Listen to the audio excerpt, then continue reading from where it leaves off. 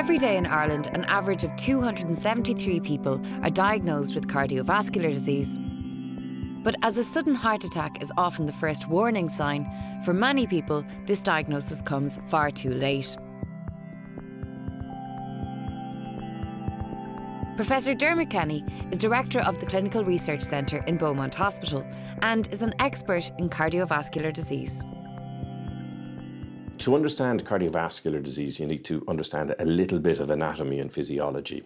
The heart is supplied by its own blood vessels, and those blood vessels we know over time can become damaged because of classic risk factors, for example, smoking.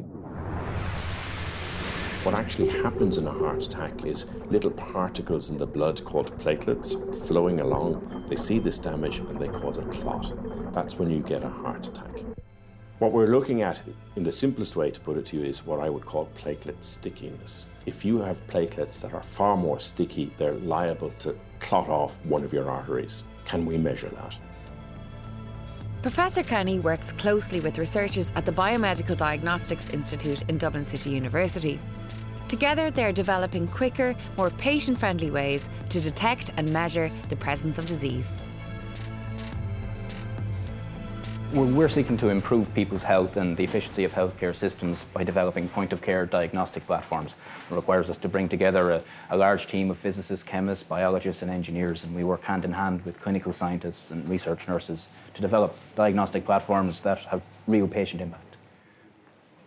So chips like these are essentially the focus of the diagnostic devices that we develop. Um, the area is often referred to as lab on a chip development, and really what we're talking about here are different microfluidic systems that carry out very, very complex experiments automatically, allowing you to measure what's there in the blood. So there's an entire clinical lab on a chip like this? Exactly right, yes. The entire process is there. And what diseases are you looking at then? Well, we work across a number of different chronic illnesses. We have specific projects in breast cancer diagnostics, meningitis diagnostics, and we have a team working on cardiovascular disease diagnostics.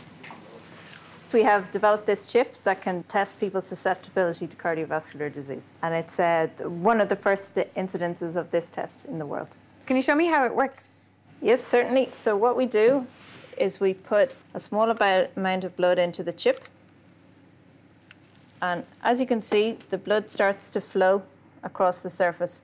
And it flows across the, the biomarkers, and therefore we can detect if the person is susceptible to cardiovascular disease. So the biomarkers are measuring different things in the blood that I could have if I had the disease? Yes, because we, we can pattern five different biomarkers along the surface, then you can do five different tests along, along the surface with one blood sample and one chip.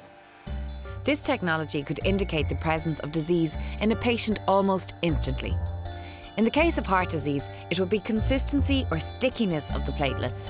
And instead of sending the samples away and waiting for weeks for results to come back from clinical labs, doctors could see the results in their surgery in a matter of minutes.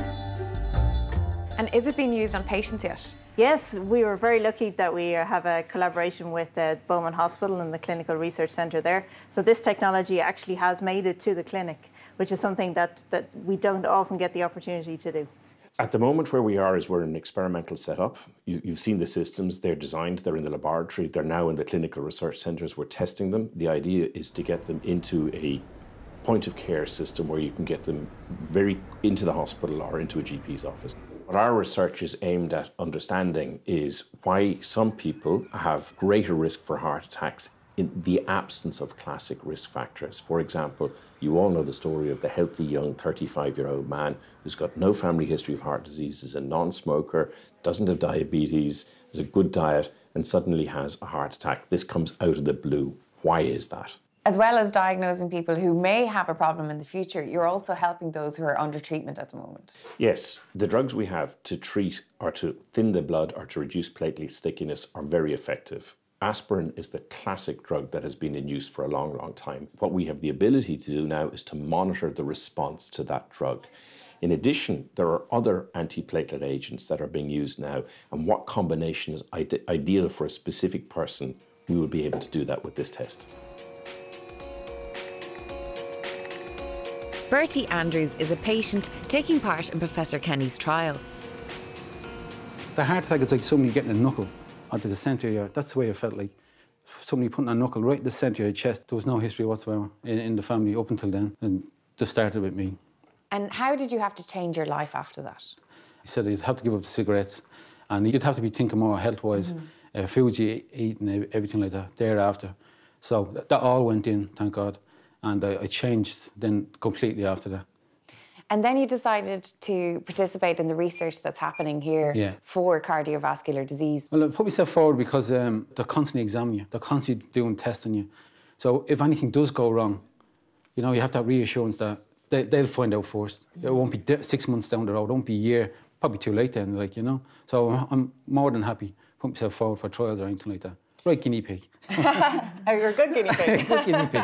It's very important to me to know that my medication is now it's, it's working for me. Do you know what I mean? So um, I can get on now with my life. I don't have to worry about having a heart attack tomorrow, say. I've got the feedback off the hospital and the doctors, and they've said everything is fine there. It had been back then, uh, available to me then in 1999, mm. I wouldn't have known anything about heart trouble then, you know? I could have done something about it then. And you've managed to completely change your lifestyle now because you're running marathons. I did indeed. Yeah, 2008, decided then uh, I'd love to do a marathon, I'd try one. So signed up with the brother-in-law. We went over to Amsterdam and we done that one first. And then we came back a week later and we had done the Dublin one in the same week. I think the future lies in what we can call personalised medicine.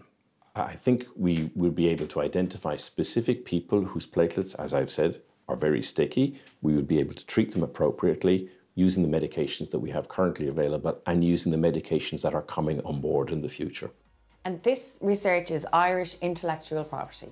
This is the fantastic thing, is if you look over the last several years, we have a range of tremendously well-educated physicians, scientists, and patients who understand the benefit of this. So to see Irish intellectual property translate into effective care for Irish patients at the cutting edge globally is very exciting.